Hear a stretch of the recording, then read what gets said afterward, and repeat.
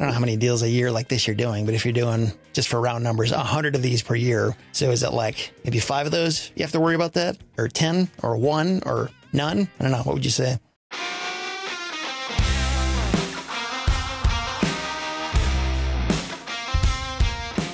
What kind of payment terms do you want to see? Like, how long should the amortization schedule be? Are we talking like one, three, five, 10, 30 years? Like, how long is normal, I guess? And then for the instances where you kind of jump in into an existing one, like, how much more is there left to go before the thing matures and is paid off? Yeah, that's a great question. So, my advice for that is to always go with as short a term as possible because that will really improve or reduce the discount required when you sell your loan. Mm-hmm. The other thing that I recommend is to go with about a 9.9 to 10% interest rate. Mm-hmm. Because interest rate and term are the two most important parts to the discount when you go to sell the loan. Mm-hmm. So if you have like a 3% interest rate, it's called a coupon rate, and you want to sell it at a 12% yield, you can see that you're going to take a huge reduction in the loan balance to get that up to 12%. So the other thing that I like to see is the 2% rule. I don't always see this, but it's nice. So my purchase price, whatever my purchase price is, I like to see the payment as 2% per month of that purchase price. Mm-hmm. But ultimately what I'm doing is I'm just crunching the numbers in a financial calculator based on my kind of risk assessment mm-hmm. and what I would like to achieve. And it's going to spit out a purchase price. Mm-hmm. That is my offer. Mm-hmm. Yeah, it's interesting. I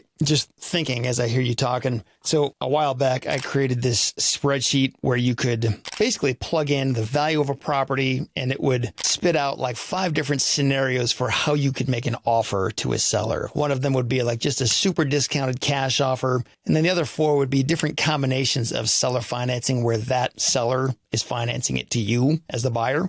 And the beauty of it is that, you know, you can ultimately pay anything for a property if the person's just willing to finance it for terms that are favorable enough to you. And it kind of sounds like a similar concept to this where you know, like, like we mentioned earlier, the credit score can be terrible as long as you're willing to have a, a, big enough down payment. It'd be interesting to create some kind of a similar spreadsheet. Maybe you even have one where you can plug in any scenario and it will just tell you, this is what has to give. You know, if this problem exists, this is how you fill it in by asking for this concession. Do you think it's possible to create that kind of thing? I mean, it seems like it could. So I have that for, I have a credit matrix mm-hmm. that is a combination of credit score and down payment required. Mm-hmm. But absolutely, I mean, that's how I bid the loans is just based yeah. on what do I think the risk is and what do I think is an appropriate yield and then what purchase price will translate into that yield. Yeah.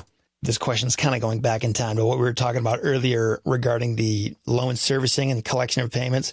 So if you take over an existing note and say they're using software or something, can you switch over to your loan servicer of choice at that point? Or is it kind of like, nope, sorry, this is the track it's on. This is how you got to finish it? That's what I always do. I have it um, transferred. Okay. You need to send out servicing transfer letter to the borrower. Mm-hmm informing them that moving forward, their payments will be collected by the servicer. Mm-hmm. And it's just a matter of transferring. They need a copy of the, all the loan documents. They need to know the balance, the monthly payment, mm-hmm. late fee, all that information. And it's a little more complicated than just the servicer to servicer transfer. Mm-hmm.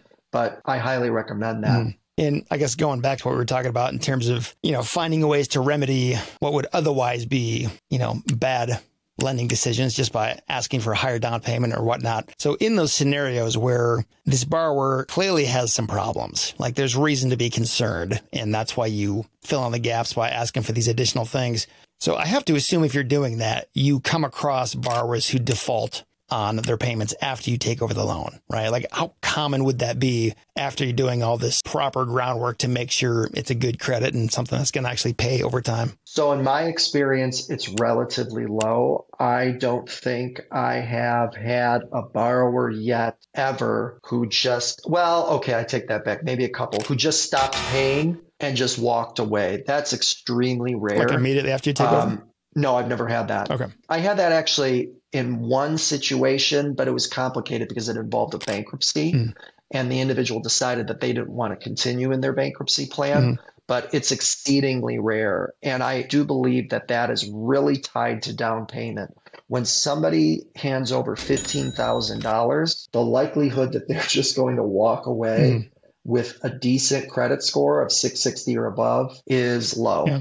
To the point that I am comfortable purchasing those loans. Mm-hmm. Because if it does happen, I'm comfortable with the default process, mm-hmm. but it's rare. Sure. And like I have to assume like you're ready for it. If somebody defaults, like you know exactly what to do. You're not scared of that. You just follow, you know, the appropriate process to get that done. So I guess you said it's relatively uncommon. Like, I don't know, if you're, I don't know how many deals a year like this you're doing, but if you're doing just for round numbers, a hundred of these per year. So is it like maybe five of those you have to worry about that or 10 or one or none? I don't know. What would you say?